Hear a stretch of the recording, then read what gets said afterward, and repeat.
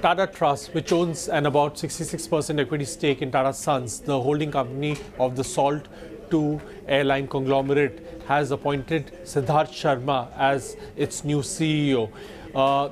Tata Trust has also appointed Aparna Uppaluri as the chief operating officer, and the appointment of both uh, is effective from April 1. Uh, Sharma, who has uh, over two decades of experience in government roles and had served as the financial advisor to two presidents of India, uh, and in the past uh, uh, worked with the Tatas,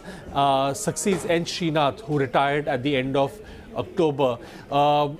in August last year, Tata Trust had amended its Articles of Association, which separated the uh,